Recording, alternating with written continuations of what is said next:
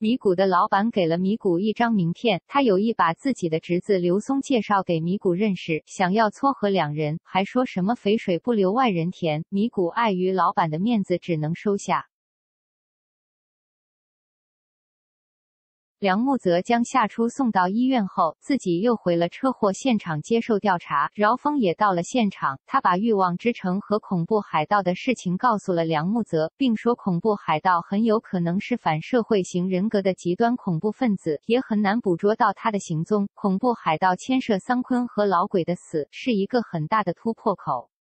两人正说着，饶峰的下属来报告说，老鬼的那批货已经浮出了水面，今晚就要在酒吧交易。警方和军方合作，一同在酒吧蹲守，想要抓住毒贩。田勇、肖腾和梁木泽一组在酒吧发现了可疑人员，但接近后才发现那个可疑的人只是用来转移他们注意力的幌子，真正的交易是在云山隧道进行。饶峰得知消息后，赶紧让人在云山隧道附近的道路检查来往车辆。饶峰的动作晚了一步。酒吧那个转移警方注意力的人是龙一易容的。真正的交易是由卓然假装在外夜跑，把货物交给了买家。卓然交货后，继续往隧道里走，发现了穿着夏初衣服的梁少雪倒在路边昏迷不醒。梁少雪昏迷前正好看到买家开车经过，卓然认出了梁少雪身上的衣服是夏初的，便把梁少雪送进了医院。张一驰成功给刘然做完手术，夏初感谢他让自己观摩手术。张一驰提醒夏初，手术后患者依然有百分之二十五的机会感染，要时刻注意。但夏初依然很感谢能给刘然这次机会。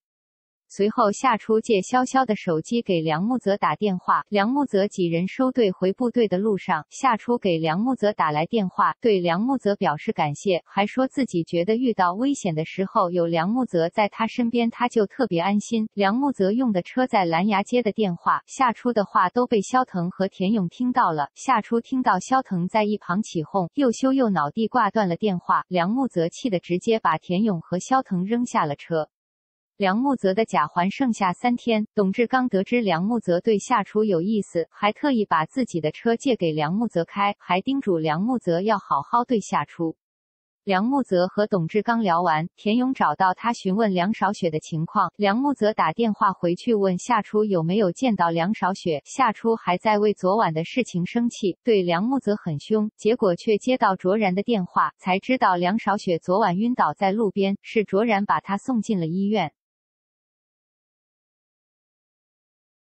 梁木泽得知情况后，也赶去了医院。他知道卓然昨天在云山隧道后，对他的怀疑更甚。卓然故意挑衅梁木泽，说梁少雪身上的衣服是夏初的，还是当年他和夏初第一次接吻时夏初穿的衣服。现在想起来还意犹未尽。梁木泽气得打了卓然一拳，夏初赶紧拉开两人。梁木泽见夏初还维护卓然，更是生气，推着梁少雪就走了。卓然则说梁木泽有暴力倾向，很不放心夏初。初和梁木泽住在一起，夏初却有些疑惑，他怎么知道自己和梁木泽住在一起？自己从来没有和他说过。卓然便说是米谷告诉他的。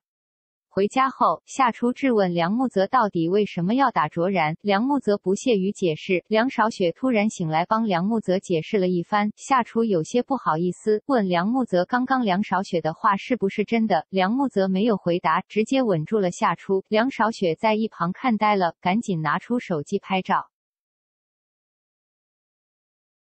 梁木泽亲完夏初，直接把夏初拉走去商场买新裙子。买了新裙子，两人还去了游戏店玩游戏，玩累了又去吃甜品，幸福的像是一对神仙眷侣。梁少雪则在家里给梁木泽妈妈穆敏汇报了情况。梁少雪给穆敏打完电话，便给田勇打电话报平安，还向田勇表白了。田勇的队友们在一旁偷听到梁少雪的表白，等田勇挂了电话，就忍不住一起调侃他。